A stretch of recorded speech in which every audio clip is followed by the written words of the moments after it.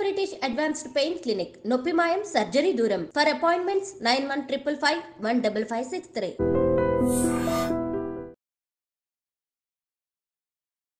నమస్తే అమ్మ. నమస్కారం అండి. అమ్మ కొంతమంది అంటూ ఉంటారు దేవుడు కూడా మమ్మల్ని చిన్న చూపు చూశారు అని చెప్పి. అంటే కొంతమంది దేవుడు బాగా కరుణించడం కొంతమందిని చిన్న చూపు చూడడం ఇలాంటివి నిజంగా జరుగుతాయి. ఎందుకంటే మేము ఎన్ని పూజలు చేసినా కానీ మాకు ఫలితం రావట్లేదని కొంతమంది వాదన చేస్తూ ఉంటారు. మేము చేయలేదు. అయినా కానీ దేవుడు మాకు చాలా ఇచ్చాడు. ఆస్తి కానివ్వండి సంతోషం కానివ్వండి మంచి భర్త పిల్లలు ఉద్యోగం విద్య అన్నీ వచ్చాయి అని అంటూ ఉంటారు. అంటే వీళ్ళిద్దరి వాదన తీసుకుంటే దేవుడు కూడా పార్షియాలిటీ ఉంటుందా? దేవుడు కూడా ఒకరిని పెద్దగా ఒకరిని చిన్నగా అలా చూస్తారా అని అనిపిస్తుంది. మరి ఇందులో వాస్తవం ఎంత? ఫస్ట్ ఆఫ్ ఆల్ నేను చెప్పాను కదండి దేవుడు ఏమి చేయడు. కానీ మనకు లీల చూస్తాం కదా మనము. ఇప్పుడు ఫర్ ఎగ్జాంపుల్ చూడాలి అంటే శ్రీమద్ భాగవతంలో మనం కృష్ణ లీల చూస్తాము. సో దాంట్లో కూడా క్వశ్చన్ అడుగుతారన్నమాట. ఎవరు అడుగుతారంటే నా నారద మహర్షికి పాండవుల్లో పెద్దవా పెద్దవాడైన యుధిష్ఠర్ అంటే ధర్మరాజు అడుగుతాడనమాట ఎందుకు అంటే అక్కడ ఏమవుతుంది? రాజసభలో శిశుపాలుడు వస్తాడు. శిశుపాలుడు ఎవడు? రాక్షసుడు అంటాడు. అని చెప్పారు మన భాగవతంలో. కానీ శిశుపాలుడు సంబంధానికి ఎవరు అంటే కృష్ణుడు యొక్క అత్త కొడుకు. ఇప్పుడు కృష్ణుడిని మనం దేవుడు అంటున్నాం కదా? వాళ్ళ తల్లిదండ్రులు దేవతలు అంటున్నాం కదా? కానీ వాళ్ళ అత్త కొడుకే అసురుడు. అంటే దాని మీనింగ్ ఏంటిది? వాళ్ళ ఆచరణ అట్లాంటిది. సో ఆయన చాలా తప్పుడుగా మాట్లాడుతుంటే కృష్ణుడు సుదర్శన్ చక్రం తీసి తన శిరశ్ఛేదం అనేది జరుగుతుంది. ఓకే. అలా జరగంగానే ఆ తేజం ఏదైతే ఉంటుందో అంటే బాడీలో ఉన్న సోల్ ఒక తేజ రూపంలో కృష్ణుడిలోనే ప్రవేశిస్తుంది. ఇలాగ ప్రవేశించగానే అదేంటిది? అసురుడు. తప్పుడుగా మాట్లాడు అని ఇటు చూస్తే పనిష్మెంట్ చేశాడు అంటే చంపేశాడు. ఇటు చూస్తే ఆ తేజం భగవంతుడిలో ఎందుకు వెళ్ళింది? సో దేవుడు కూడా పార్షాలిటీ చేస్తాడా? అని అక్కడ క్వశ్చన్ అడిగాడు అనమాట ఒక మాట ఏంటంటే అండి మనకు ఉన్న క్వశ్చన్స్ ఏవి కూడా అన్నిటికీ ఆన్సర్స్ మనకు శాస్త్రాల్లో ఉన్నాయి. లేవు అన్నవి లేవు. మనకు దొరకట్లేదు అంటే మనం చదవట్లేదు లేదంటే మనం గురువుల దగ్గరికి వెళ్ళి అడగట్లేదు. కానీ ప్రతి ఒక్క ఆ క్వశ్చన్కి ఆన్సర్ మన శాస్త్రాల్లో ఉందన్నమాట. ఎందుకంటే ఋషుములకు తెలుసు అనమాట కలియుగంలో మనిషికి ఎట్లాంటి డౌట్స్ వస్తాయి? సత్యయుగం అంటే బాగా సత్యయుగము ద్వాపర త్రేత అంటే బాగా శ్రద్ధతో దేవుడిని స్మరించుకునేవాడు. కలియుగంలో అన్ని డౌట్స్ అనమాట ఏది చేయాలన్నా కూడా నిజంగా చేస్తాడా? అసలు నిజంగా దేవుడు ఉంటాడా? ఇట్లాంటి క్వశ్చన్స్ ఎక్కువ ఉంటాయి. సో అన్నిటికీ సమాధానాలు. దాంట్లో ఇది ఒక క్వశ్చన్. సో ఇది అడగంగానే నారద మహర్షి చెప్పిన స్టోరీ మీకు చెప్తానండి. సో బాలకృష్ణుడు సాక్షాత్ కృష్ణుడు ఏం చేస్తాడు? అసురుడు అంటే ఇప్పుడు ప్రహ్లాద స్టోరీ మనం చెప్పుకున్నాం కదండి. ప్రహ్లాదుడు కోసము నరసింహ రూపంలో వస్తాడు. కదా? సో వచ్చాడు వాళ్ళ నాన్నని చంపేశాడు బాలుడిని రక్షించాడు. అవును. ఇలాగే రామావతారంలో కూడా ఏం జరుగుతుందంటే రామరావణ యుద్ధం జరిగిన తర్వాత అందరూ వానరులు చనిపోతారు. అసురులు కూడా చనిపోతారు అన్నమాట దాంట్లో. కానీ ఇంద్రుడు వచ్చి స్వామి మరి ఏదైనా సేవ నాకు చెప్పండి. మీరు రావణాసురుని చంపేశారు కదా. మేము. మీకు గిఫ్ట్గా ఏదో ఇవ్వాలనుకుంటున్నాము. చెప్పండి అంటే రాముడు ఏమంటాడు అంటే అమృత వర్షాన్ని కురిపించు. కానీ అసురుల మీద కాదు వానరుల మీద మాత్రమే కురిపించు అంటాడు. సో అది మనం వినంగానే మనకి ఏముంటుంది? ఓహో చూసారా? దేవుడు కూడా వాళ్ళు చనిపోవాలనుకుంటున్నారు అసురులు కాబట్టి వీళ్ళని మాత్రం ప్రొటెక్ట్ చేస్తున్నాడు దేవుడు అనుకుంటాం సాధారణ మనిషి. కానీ గురువులు ఏం చెప్తారు అంటే దేవుడు అందరికీ మంచి కోరుకుంటాడండి. దేవుడు సమాన భావంతోనే అందరిని చూస్తాడు సమాన వ్యవహారం చేయడు. కానీ భావం సమానంగా ఉంటుంది. రాక్షసుల మీద ఎందుకు వద్దు అన్నాడు అంటే రాక్షసులు వానరులతో యుద్ధం చేస్తున్నప్పుడు వానరుల మనసులో జివ్వలో ఏముంది జయ శ్రీరామ్ జయ శ్రీరామ్ పోరాడుతున్నాడు. అంటే హరినామ స్మరణ విని హరిభక్తుల్ని చూసి వీళ్ళు చనిపోయారు కాబట్టి వీళ్ళు ఉద్ధరింపబడ్డారు ఆల్రెడీ సో వాళ్ళ మీద అమృత వర్షం కురిపించి ఉద్ధరింపబడ్డన వాళ్ళని ఎందుకు రిటర్న్ తీసుకురావడము? అదే వానరులకి ఏం జరిగింది అంటే ఆ ముందు జయ రావణ జయ రావణ అని వాళ్ళు యుద్ధం చేస్తూ వాళ్ళని చూసి వాళ్ళు చనిపోయారు కాబట్టి వీళ్ళ మీద కురిపించు వీళ్ళు ఇంకా ఉద్ధరింపబడలేదు. అది అది రా జయ రావణ అని వినుకుంటూ చనిపోయారు కాబట్టి వాళ్ళ మీద కురిపించు అంటాడనమాట. సో ఒక తల్లి అండి ఎగ్జాంపుల్ చెప్పాలి అంటే ఒక తల్లికి ఇద్దరు పిల్లలు. ఒక ఎయిట్ ఇయర్స్ బాబు ఒక చిన్న one and half two years బాబు అనమాట అమ్మ ఇంట్లో లడ్డు చేసింది. లడ్డు చేస్తే పెద్దవాడికి ఒకటి ఇస్తుంది రెండు ఇస్తుంది మూడోది ఇస్తుంది. చిన్నవాడికి ఏమో ఒకటి చిన్నది ఇస్తుంది అనమాట అమ్మ ఇంకోటి ఇవ్వు అంటే ఆహా నేను ఇవ్వను రాను వద్దు నీకు కడుపు పాడైపోతుంది తినకు అంటాడు. నీకు అంత డైజెస్ట్ అవ్వదు అంటారు. వెంటనే చిన్న బాబు ఏంటమ్మా నీకైతే పెద్ద అన్నయ్య ఇష్టం నేనంటే ఇష్టం లేదు అంటారు. సో అలా మనకు అనిపిస్తుంది కదండి. కానీ అమ్మ చేసిన వ్యవహారం వేరే ఉంది. పెద్దవాడికి మూడు పెద్ద లడ్లు ఇచ్చింది చిన్నవాడికి చిన్నది ఇచ్చింది. ఎక్కువ ఘీ ఉంది కదా వద్దు నాన్న అనేసి. ఎందుకు? వ్యవహారం భిన్నము.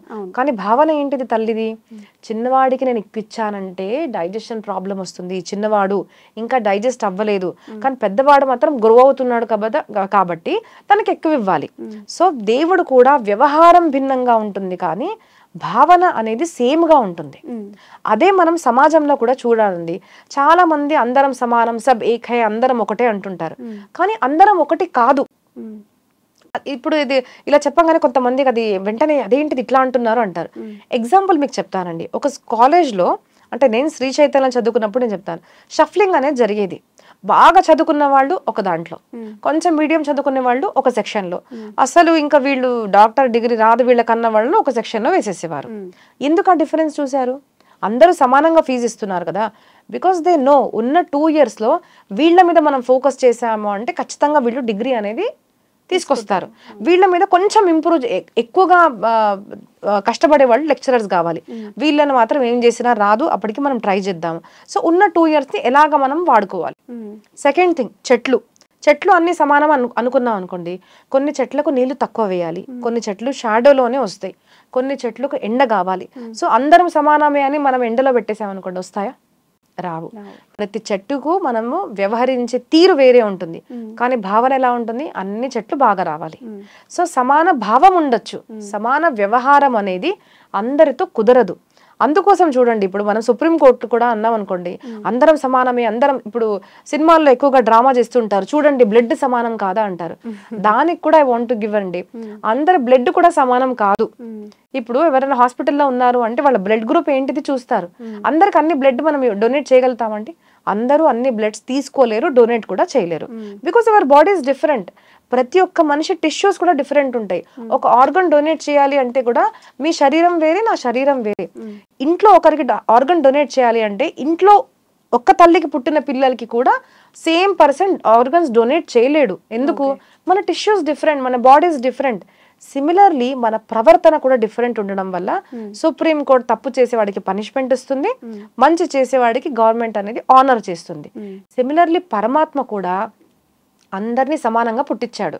ఒకడు తప్పుగా ప్రవర్తిస్తున్నాడు కాబట్టి వాళ్ళని మనం అసుర అన్నాము. ఫస్ట్ చెప్తారన్నమాట రావణాసురుణ్ణి కూడా దేవుడు వెంటనే చంపలేదండి. చెప్పారు నువ్వు తప్పు చేస్తున్నావు. తండ్రి చెప్పాడు మామయ్య చెప్పాడు భా భార్య చెప్పింది. అందరు తమ్ముడు కూడా అందరు చెప్పారు. కానీ వినలేదు. దానివల్ల ఏమైంది? నాశనమైంది. అప్పుడు చంపాడు రాము రాముడు. లేదు అంటే చాలా మందికి తెలియదు మొదటి రోజే రావణాసురుడా came to fight with Rama ఆ రోజు తన రథాన్ని కూడా పడేశాడు రాముడు. కానీ చంపలేదు. Because Lord gave a chance Lord ప్రతి మందికి ఛాన్స్ ఇస్తాడు. మంచిగా ప్రవర్తించు మంచిగా ఉండు తప్పు చేస్తున్నావు అని చూడండి. మనం కూడా ఒక్కొక్కసారి ఏదైనా చిన్న తప్పు చేస్తున్నా మనకు తెలిసిపోతుంది. తప్పు తప్పు అనేసి. సో అప్పుడు మనం కంట్రోల్ చేసుకొని మంచిగా ప్రవర్తించవచ్చు. లేదు తప్పు చేస్తున్నాం అనుకోండి God will punish so similarly ఒక మనిషి ఒక గురువు ఒక పరమాత్మ కూడా అందరి పట్ల సమాన భావం పెట్టుకోవచ్చు కానీ సమాన వ్యవహారం అనేది సంభవం కాదు. సో పరమాత్మ కూడా ఒక రూపాన్ని అవతరించి వచ్చాడు అంటే సమాన భావం అందరికీ మంచి జరగాలి. కానీ సమాన వ్యవహారం అనేది జరగదు జరగకూడదు జరగదు కూడా అది. అంటే ఎవరి స్థాయిని బట్టి ఎవరి కర్మల్ని బట్టి ఎవరు ఎలా ప్రవర్తిస్తున్నారో దాన్ని బట్టి దేవుడు వాళ్ళకి ఏమేమి ఏ టైంలో కావాలో ఆ టైంలో ఇస్తారు. అంతే అండి. ఓకే. నిజంగా అమ్మా ఈ విషయం తెలుసుకుంటే చాలా వరకు వాళ్ళ లైఫ్లో ఉన్న సుఖ దుఃఖాలు కానీ మాకు ఆ ఇన్కంప్లీట్నెస్ ఏదైతే ఉందో అది దేవుడి మీద తోసేయడం అనేది తగ్గించేస్తూ ఉంటారు. అమ్మ చాలా మంది ఈ రోజు లేచి పూజ చేసుకుందాం అనుకుంటూ ఉంటారు. లేదంటే ఈవినింగ్ టెంపుల్కి వెళ్దాం అనుకుంటారు.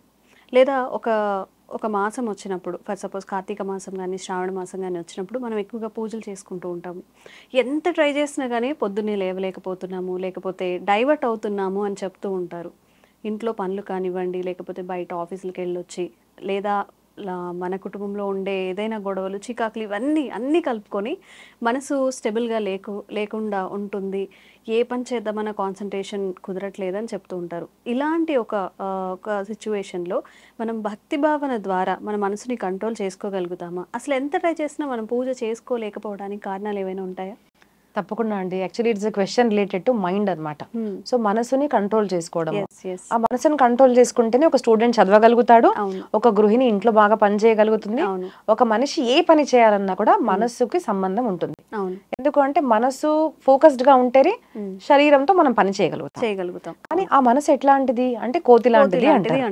సో అది అసలు ఎక్కడ ఇక్కడ అంటే మనం చెప్పామనుకోండి సే- మీరు చూడండి ఈ షూట్ అయ్యేదాకా సజాసి గారు మీరు అసలు కోతిని తలుచుకోవద్దు అంటే అదే గుర్తొస్తుంది అదే. ఎలా ఉంటుంది? కోతి ఎలా ఉంటుంది? ఎందుకు అలా అన్నారు? అదే ఆ కోతి గురించి మనం ఎక్కువ ఆలోచిస్తుంటాం అనమాట so that is the mind యొక్క అది గుణం అన్నమాట. మ్మ్. సో అర్జునుడు కూడా భగవాన్ కృష్ణుడికి గీతలో అడుగుతారన్నమాట. చంచలం హి మన కృష్ణ ప్రమాథి బలవదృఢం. మ్మ్. తస్యాహం నిగ్రహం మన్యే వాయోరివ సుదుష్కరం. కృష్ణ ఈ మనసు ఎలాంటిది అంటే వాయు లాంటిది మనం వాయుని బంధించగలుగుతామా అండి? లేదు. బంధించలేము. సో వాయువుని ఎలా మనం బంధించలేమో? అలాంటి దుష్కరమైన కార్యము ఈ చంచలమైన మనసుని కంట్రోల్ చేయడము. సో నువ్వు మార్గం చెప్పు అంటారన్నమాట. సో కృష్ణుడు ఏం చెప్తాడు అంటే అభ్యాసేనుతు కౌంతేయ అంటే షార్ట్లో చెప్పాలి అంటే ఏదన్నా కూడా మనం చేయాలి అంటే ప్రాక్టీస్తో వస్తుందండి. ఇప్పుడు నేను కూర్చున్నాను చదువుకోవాలి అంటే ఇప్పుడు చిన్నపిల్లలు చూడండి మీరు ఎలా చదువుకుంటారు?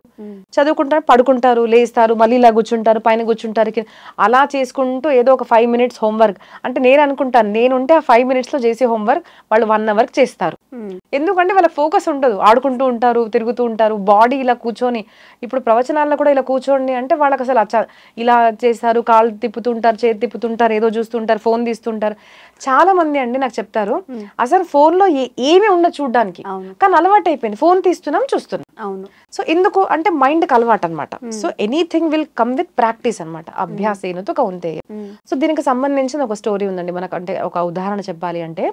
శ్రీమద్ భాగవతంలో నైన్త్ క్యాంటోలో నవమ స్కందంలో. ఒక ఋషి ఉంటారన్నమాట. ఆ ఋషి సౌభరి ఋషి. ఆయన ఎన్నో సంవత్సరాల తరబడి తపశ్చర్య చేస్తూ ఉంటారు ఓకే. ఎక్కడ జలంలో అంటే నదిలో లోపల కూర్చొని తపశ్చర్య చేస్తుంటారు. తపశ్చర్య అంటే ఏంటిది? తపోద్వంద్వ సహనం. బయట ఏం జరుగుతున్నా కూడా నేను ఫోకస్డ్గా నేను నా ధ్యానం అనేది చేసుకుంటాను. ఒక సాధు ధ్యానం కానివ్వండి ఒక స్టూడెంట్ చదువుకోవడం కానివ్వండి మనం ఇప్పుడు మీరు ఇక్కడ మాట్లాడుతున్నారు ఎగ్జాంపుల్ ఇంట్లో గొడవ జరిగింది కానివ్వండి. మాట్లాడుతున్నారంటే గురు గుర్తొస్తుంది మీకు మాటి మాటి గుర్తొస్తుంది డిస్టర్బ్ అవుతున్నారు ఫోకస్ చేయలేకపోతున్నారు. సో ఇట్లాంటివి ఏంటిది? ద్వంద్వాలు. ఇన్సల్ట్ మానము అవమానము ఇవన్నీ ఆ ద్వంద్వాలని సహిస్తూ ఒక పని ఫోకస్డ్గా చేయడాన్ని మనం తపశ్చర్య అంటాం అనమాట తపో ద్వంద్వ సహనం. సో స్టూడెంట్స్ అనుకోండి ఏమంటుంటారు అంటే అమ్మో చలిగా ఉంది కదా పడుకుందాం కాసేపు అంటారు. అమ్మో వేడిగా ఉంది తర్వాత చదువుకుందాంలే అంటారు. సో ఇలాగ చూసుకుంటే సంవత్సరాల్లో మనం చదువుకోలేము అసలు. సో మనం ఒక స్టూడెంట్ చదువుకోవాలి అంటే ఏంటిది? ఆయన చలి కూడా చూసుకోవాలి వేడిలో కూడా చదువుకోవాలి. So he has to bear everything అప్పుడే తను చదువుకోగలుగుతాడు. సో అలాంటి ఒక ఋషి ఏం చేస్తాడు అంటే జలంలో కూర్చొని ఎన్నో సంవత్సరాల దాకా తన మైండ్ని కంట్రోల్ చేసుకున్నాడు కదండి. అంటే కూర్చున్నాడు మైండ్ని ఫోకస్గా చేసి తపశ్చర్య చేస్తుంటే ఒక్కసారి అలా కళ్ళు తెరవంగానే ఏమైంది అంటే ఒక జంట అంటే ఆ ఫిషెస్ అనమాట అక్కడ ఉన్న జలంలో ఉన్న ఫిషెస్ని ఆ రతిక్రియ అంటే వాళ్ళు అట్లా ముద్దు పెట్టుకోవడం చూ చూడంగానే ఫిషెస్ని చూసి తన మనసులో ఏమనిపిస్తుంది అంటే ఆహా ఈ శారీరక సుఖంలో కూడా ఎంత సుఖం ఉంది నేను పెళ్ళి చేసుకుంటే ఎంత బాగుంటుంది అని అనుకుంటారు. ఆ కోరిక కోరిక ఎలా ఉంటుంది మైండ్ కంటే ఇప్పుడు నాకు ఆ చీర కావాలంటే కావాలి. నాకు ఇప్పుడు కాఫీ కావాలంటే కావాలి. మా ఫ్రెండ్ ఫోన్ చేశాడు పార్టీకి వెళ్ళాలంటే వెళ్ళాలి. ఫోన్లే తర్వాత చదువుకుంటా. సో ఇట్లాంటి డిస్ట్రాక్షన్స్ మన mind కి ఆయన కూడా ఏం చేశారు ఆ టైంలో he couldn't control his mind బయటికి వచ్చారు బయటికి వచ్చి మాంధాత అన్న ఋషి. వాళ్ళ భార్య అక్కడికి వెళ్ళి వాళ్ళకు ముగ్గురు ముగ్గురు పిల్లలు యాభై మంది ఆడపిల్లలు అనమాట అక్కడికి వెళ్ళి ఋషి నాకు నీ ఆడపిల్లల్ని నేను పెళ్ళి చేసుకుంటాను అంటాడు. రాజేమనుకుంటాడు? ఇంత వృద్ధుడు ఈయనకు నా పిల్లల్ని ఎలా ఇస్తాను? వాళ్ళు యువతులు ఎలా ఇవ్వాలి అంటే మరి నేను నో అన్నాను అంటే శాపం ఇస్తారేమో అన్న భయం. సో ఆయన తెలివిగా ఏం చేస్తారు అంటే స్వామి మీరే వెళ్ళండి. ఆడపిల్లలు కనుక ఎవరు మిమ్మల్ని చేసుకుంటారు అంటే నేను వాళ్ళకి ఇచ్చేస్తాను అంటారు. సో ఆ మొత్తం అంతా ఆడపిల్లల మీద వదిలేస్తాడు. సో ఆయనకు తెలుసు వృద్ధుడిని ఎవరు చేసుకుంటారండి? చేసుకోరు కదా. ఆ మాట ఆయనకు అర్థమవుతుంది. ఓహో నేను వృద్ధుడిని అనే కదా నువ్వు ఇలా అన్నది. బట్ నేను కూడా తపశ్చర్య చేశాను. ఐ హ్యావ్ ఫ్యూ పవర్స్ అనేసి ఆ పవర్స్ని ఉపయోగించి యోగమాయతో యోగం యోగ బలంతో ఆయన తన శరీరాన్ని యవ్వనంగా చేసేసుకుంటాడు. సో ఆ మంత్రి అక్కడ మంత్రి ఏమో అక్కడికి తీసుకెళ్తారు అనమాట వాళ్ళ రూమ్లో అనమాట అక్కడ యాభై మంది యువతులు కన్యలు అనమాట అంతటి అందాన్ని చూసి ప్రతి ఒక్క కన్య ఏ నువ్వు కాదు నేను చేసుకుంటా ఏ నువ్వు కాదు నాకు తగినవాడు అనేసి యాభై మంది కూడా గొడవ పడతారు. సో యాభై మందితో పాటు ఆయనకు పెళ్ళైపోతుంది. సో పెళ్ళైన తర్వాత ఏంటిది? పెళ్ళి వాళ్ళ సంసారం ప్రారంభమవుతుంది. అంటే మన భాషలో చెప్పాలి అంటే వాళ్ళ రతి క్రీడ వాళ్ళ అంటే ఆ శారీరక సుఖం అనుభవ అనుభవిస్తున్నాడు. అందరితో ఉంటున్నాడు యాభై మందితో.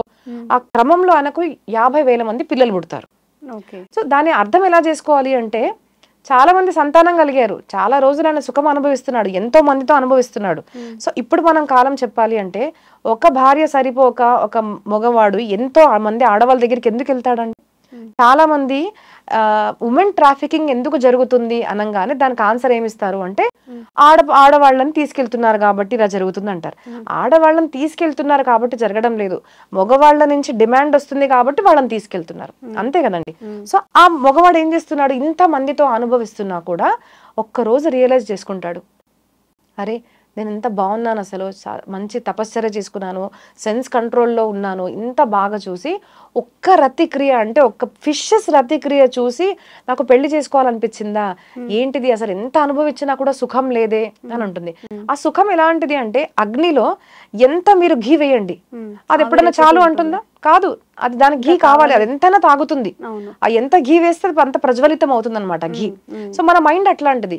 మీరు దానికి ఎన్ని భోగాలు ఎంతసేపు పడుకోండి? మీ నిద్ర పెరుగుతూనే పోతుంది. మీరు ఎంత తినండి ఆకలి పెరుగుతూ పోతుంది. సో ఎంత తగ్గించండి ఆకలి తగ్గుతుంది. ఎంత మీరు కంట్రోల్ చేసుకోండి తగ్గుతుంది. ఎలాగా అంటే ప్రాక్టీస్.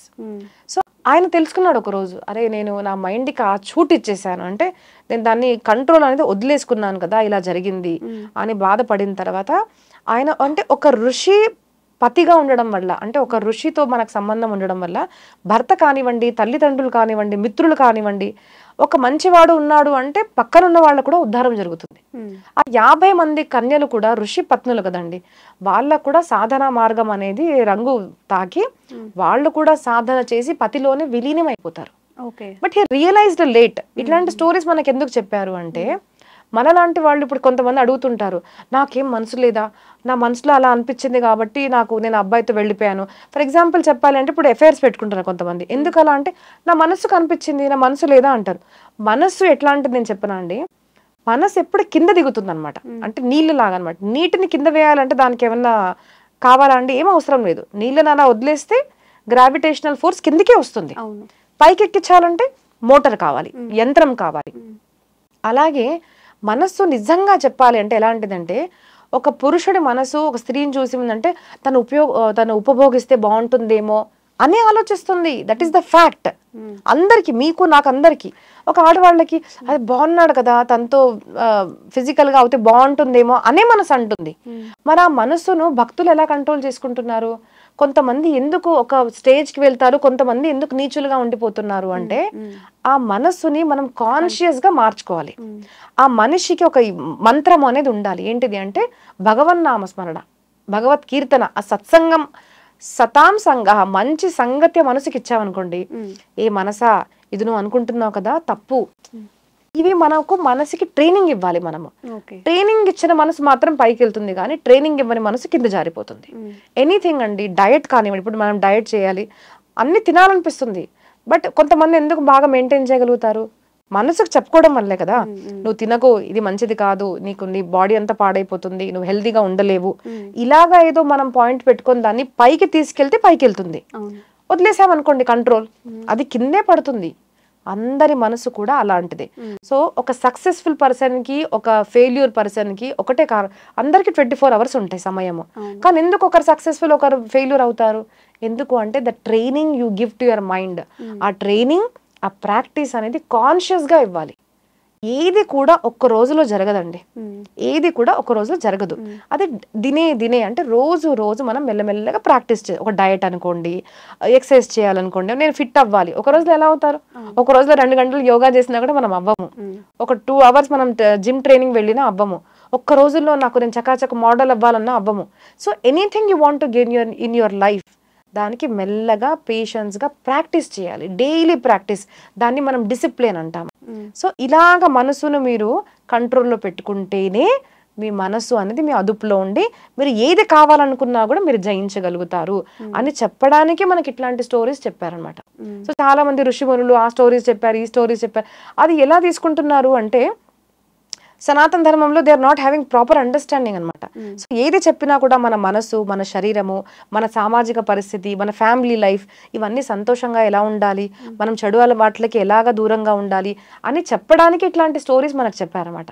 సో ఇట్లాగా మనం ప్రాక్టీస్ ద్వారానే మన మనసుని మనం కంట్రోల్ చేసుకోవచ్చు. అమ్మ అయితే ప్రతి ఒక్కరి లైఫ్లో చాలా ఇంపార్టెంట్గా మనం ఈ టైంకి ఇది చెయ్యాలి ఖచ్చితంగా అనే పనులు ఉంటాయి.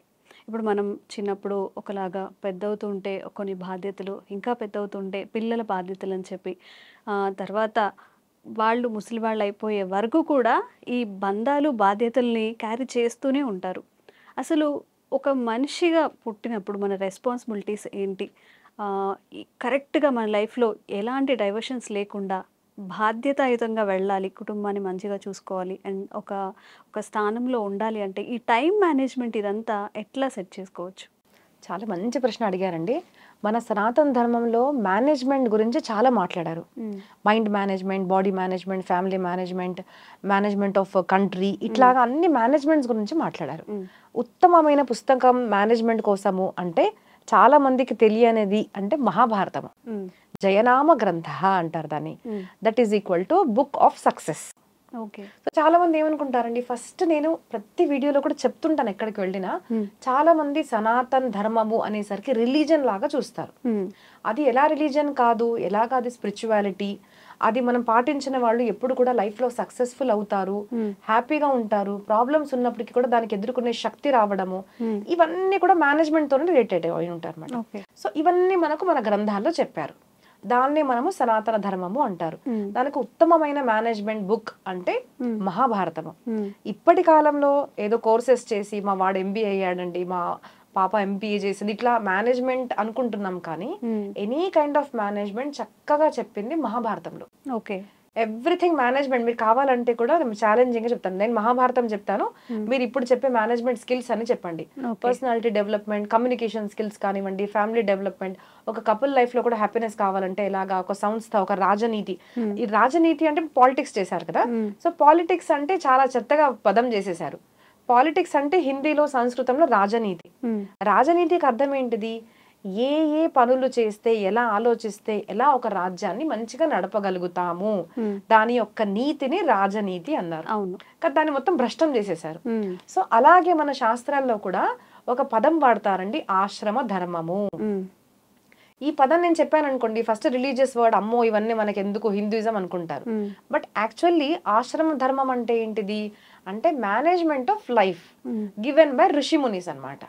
ఆశ్రమాలు అంటే చాలా మందికి ఏదో పెద్ద కోట దాంట్లో ఒక స్వామీజీలు ఉండడము అనుకుంటారు. ఎస్ అలాంటి వాటిల్ని కూడా ఆశ్రమాలు అంటారు. ఎందుకంటే అక్కడ మనకు ఒక జీవిత చర్య మానసిక చర్య ఎలా ఉండాలి అని చెప్పే గురువులు ఉంటారు కాబట్టి దాన్ని ఆశ్రమాలు అంటారు.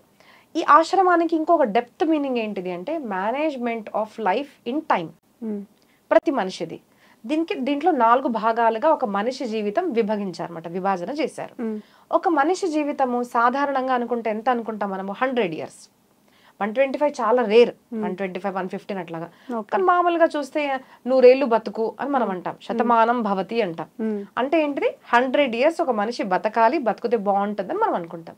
సో ఒక మనిషి లైఫ్ కనుక హండ్రెడ్ ఇయర్స్ ఉందనుకోండి సో దాన్ని ఎలాగా విభజన చేయాలి. సి అండి లైఫ్లో ఎప్పుడు కూడా మనం ఒక ప్లానింగ్తో వెళ్తేనే మనం ఏ పనన్నా బాగా చేయగలుగుతాం అవును. ప్లానింగ్ ఉండాలి ఒక గోల్ సెటిల్మెంట్ అనేది ఉండాలి. ప్లానింగ్ చూసేస్తే బాగుంటుంది. సో టైం ఎలా మేనేజ్ చేసుకోవాలి? మన ఋషిమునులు చేసిన టైం మేనేజ్మెంట్ ఎవ్వరూ చేయలేదు. దాన్ని ఆశ్రమము అంటారు. సో దీంట్లో మొదటి ఆశ్రమము బ్రహ్మచర్య ఆశ్రమము. ఓకే. బ్రహ్మచర్యం అనగానే సెలిబసి పెళ్ళి చేసుకోకుండా ఉండడము ఇలాగా అనుకుంటున్నారు అందరు. బట్ బ్రహ్మచర్యానికి మీనింగ్ ఏంటిది అంటే పుట్టుక నుంచి దాదాపు చూస్తే ట్వంటీ ఫైవ్ ఇయర్స్. అంటే మనిషి జీవితంలో ఒక ట్వంటీ ఫైవ్ ఇయర్స్ ప్రతి మనిషి బ్రహ్మచర్యము ఆచరించాలి అంటారు. ఓకే. అంటే ఏంటిది? డెప్త్ తెలుసుకోండి. అప్పుడు మీరు బ్రహ్మచారి నేను బ్రహ్మచారిని అనడానికి భయపడరు జనాలు. ఆ ట్వంటీ ఫైవ్ ఇయర్స్లో మనకు కొన్ని నియమాలు చెప్తారు. ఏంటిది అంటే పొద్దున్న తొందరగా లేవాలి? మనము దంతాధావన ఇవన్నీ చేసి స్నానం చేసి చదువుకోవాలి. బ్రహ్మముహూర్తంలో లేవాలి చదువుకోవాలి. ఫోకస్డ్గా ఉండాలి యోగా ప్రాక్టీస్ చేసుకోవాలి. ఇదే సమయము మీరు లైఫ్లో ఏది సాధించో సాధించాలి అనుకున్నా కూడా this is the best time okay. The period to educate yourself learn your yourself అనమాట ఒక ఫిజికల్లీ మెంటల్లీ ఏది కూడా మీరు శిక్షణ పొందాలి అంటే దిస్ ఇస్ ద టైం దాన్ని బ్రహ్మచర్య ఆశ్రమం అంటారు. ఇప్పుడు ఈ టైంలో బ్రహ్మచారి అంటే ఏమంటాం మనము? ఒక పరపురుషుల నుంచి ఆడవాళ్ళు వేరేగా ఉండాలి. అంటే అదే సిలిబసి ప్రాక్టీస్ చేయాలి అంటాము. ఎందుకు అంటాము దాని డెప్త్ కూడా చెప్తారు. ఎందుకు అంటే ఇప్పుడు ఒక స్టూడెంట్ చదువుకోవాలనుకోండి ఎంబీఏ అవ్వాలి ఐఏఎస్ అవ్వాలి ఏదో చేయాలి. అప్పుడు ఆ అబ్బాయి గనక ఒక రిలేషన్షిప్లో పడ్డాడు అనుకోండి ఆయన ఇప్పుడు రిలేషన్షిప్ ఫోకస్ చేస్తాడా చదువుకుంటాడా? పేరెంట్స్ అందుకోసం ఏమంటారు? పెళ్ళి అవన్నీ తర్వాత చూసుకుందాం రా బాగా చదువుకో అంటారు. ద సేమ్ థింగ్ మనకు శాస్త్రాల్లో ఆశ్ర బ్రహ్మచారి ఆశ్రమము అంటారు. ఏంటిది అంటే this is the right time ఈ టైంలోనే నువ్వు బాగా చదువుకున్నావు అంటేనే నీ జీవితంలో నువ్వు సుఖపడగలుగుతావు. ఎందుకంటే మన దగ్గర విద్య ఉందనుకోండి ఎక్కడన్నా మనం రాణించగలుగుతాం. సో విద్య ఎప్పుడు తీసుకోవచ్చు? థర్టీ ఫార్టీలు చదువుకోమంటే చదువుకోగలుగుతామా? చదువుకోలేం. అప్పుడు మనకు బాధ్యతలు టెన్షన్స్ ఇవన్నీ ఉంటాయి. ఏజ్ సహకరించదు. So this is the time మన బాడీని ఫిట్నెస్ కానివ్వండి మనం చదువుకోవడం కానివ్వండి ఇది ఈ టైంలో చేయాలి కాబట్టి కొంచెం టీవీ నుంచి ఆడపిల్లల నుంచి అబ్బాయిల నుంచి దూరంగా ఉండడము అడిక్షన్స్ నుంచి దూరంగా ఉండి సెల్ఫ్ కంట్రోల్డ్గా ఉండి మీరు ఏదైతే లైఫ్లో చేయాలనుకుంటున్నారో ఫోకస్డ్గా ఉండి చదువుకునే టైం బ్రహ్మచర్య ఆశ్రమము అంటారు. సో పీరియడ్ ఆశ్రమం is equal to period time period where you can gain your knowledge అన్నదాన్ని బ్రహ్మచర్య ఆశ్రమం. ఓకే సెకండ్ ఏమవుతుంది? గృహస్థాశ్రమం. అందరం పెళ్ళి చేసుకుంటారు. మోస్ట్లీ దాదాపు ninety five ninety eight percent పెళ్ళి చేసుకుంటారు. ఇప్పుడు బాగా చదువుకున్నావు నువ్వు. ఉమ్. చదువుకున్న తర్వాత ఇప్పుడు నువ్వు పెళ్ళి చేసుకో. అని మన ధర్మం చెప్తుంది మనకు సనాతన ధర్మం చెప్తుంది. మనం బయట వెళ్ళాం అనుకుంటే బయట దేశాల్లో ఏమవుతుందంటే ప్రాక్టికల్ ప్రాబ్లం చెప్తాను సిక్స్టీన్ ఎయిటీన్ ఇయర్స్ అవ్వంగానే వాళ్ళు పెద్దగా అవ్వంగానే ఏం చేస్తున్నారు అంటే ఇంకా మీరు పెద్దగా అయ్యారు మీరు సంపాదించుకోండి అంటారు. సో ఇప్పుడు వాళ్ళ ఇల్లు వాళ్ళు చూసుకోవాలి టెన్షన్ ఉంటుంది. సంపాదన చెయ్యాలి మనం అనేసరికి పిల్లల్లో టెన్షన్ ప్రారంభమవుతుంది. ఆ టెన్షన్ వల్ల ఏమవుతుంది? ఎవరితోనో టెన్షన్ షేర్ చేసుకోవాలి ఎవరో ఉండాలి. పేరెంట్స్ దూరంగా ఉంటారు. మనం మనంగా విడిగా ఉండాలి. మా ఇంత పెద్దగా అయిన తర్వాత కూడా ఇంట్లో పెట్టుకున్నావా అంటారు అటువైపు. సో ఇల్లు వేరేగా ఉండాలి నేను మెయింటైన్ చేయాలి అంటే అప్పుడు ఏమవుతుంది? ఒక ఆధారం చూసుకుంటారు వాళ్ళు.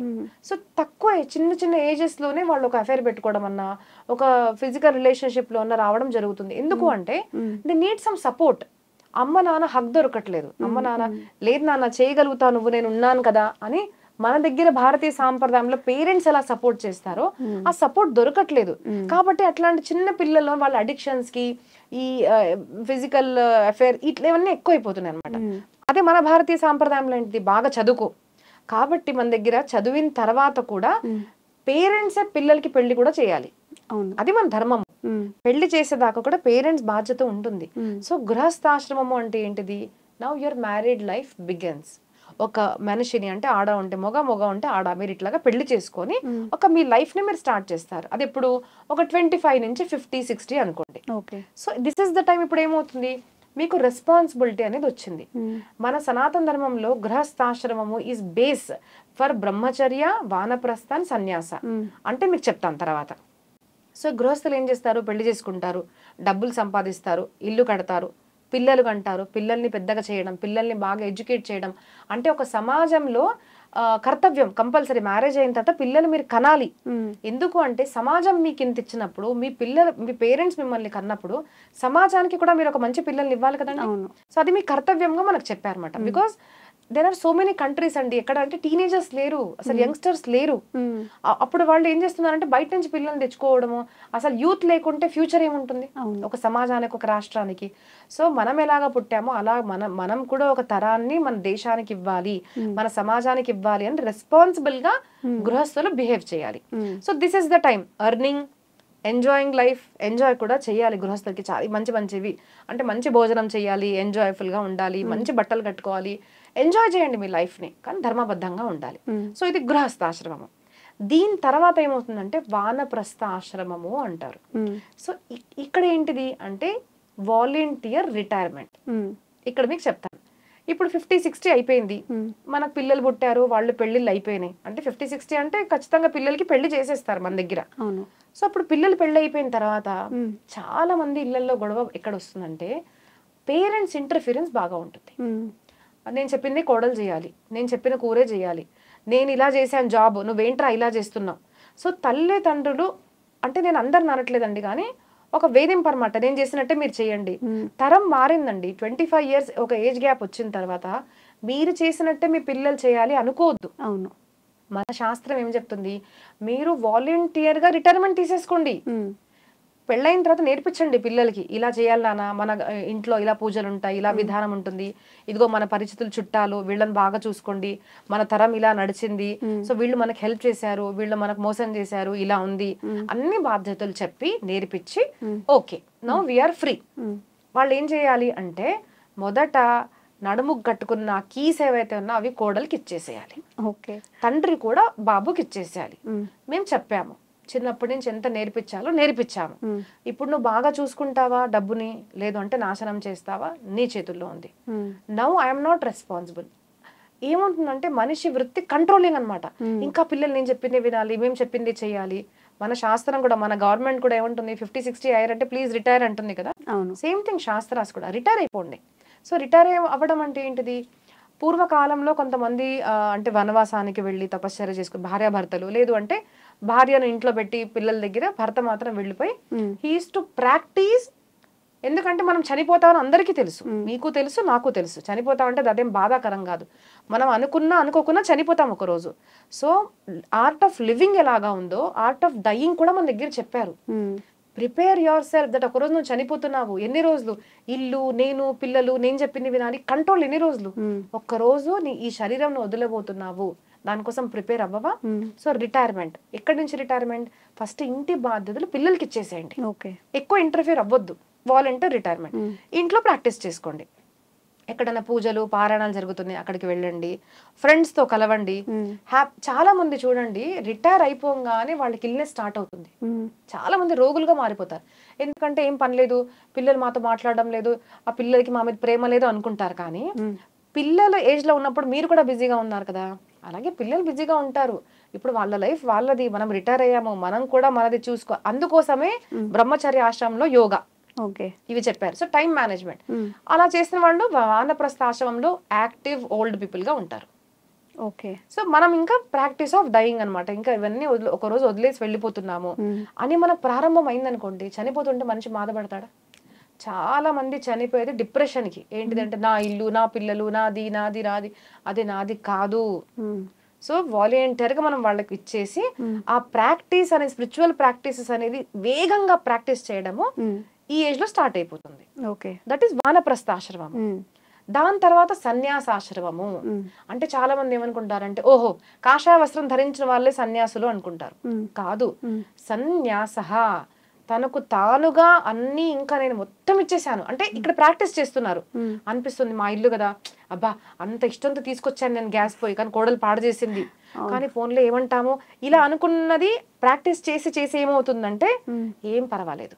ఇది నాకు సంబంధం లేదు. నేను దేహాతీతం ఒకరోజు చనిపోబోతున్నాను అంటే ఇంకా పూర్తిగా వాళ్ళ స్థాయిలోకి వచ్చేస్తారు.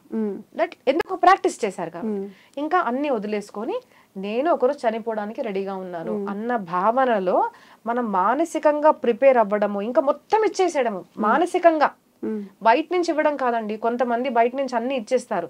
ఇల్లు వదిలేసుకుంటారు హరిద్వార్ వెళ్ళి ఆశ్రమం కట్టుకొని ఆశ్రమం నాది అనుకుంటారు. ఓకే. సో చిన్న ఇల్లు వదిలేశారు పెద్ద ఇల్లు మీరు సొంతం చేసుకున్నారు కదా. పిల్లలు ఇద్దరు పిల్లల్ని వదిలేశారు. అక్కడికి వెళ్ళి వంద శిష్యులు నా శిష్యులు అనుకుంటున్నారు కదా. ఇక్కడ ఒక హోదాని వదిలేసి నేను అక్కడ పెద్ద హోదా అనుకుంటున్నారు కదా. సో దాన్ని సన్యాసాశ్రమము అనరు. ఓకే. ఆశ్రమము అంటే అక్కడ living everything. Now completely you are in that consciousness. అన్నదాన్ని సన్యాసాశ్రమం. దానివల్ల ఏమవుతుందంటే డెత్ ఈజీగా అవుతుంది. కొంతమంది ఆ బాధతో అది శరీరం అనేది వదులుకోలేకపోతున్నారు అనమాట ఎందుకు అంటే నేను నేను నాది నాది అని ఉంటుంది. So living I consciousness.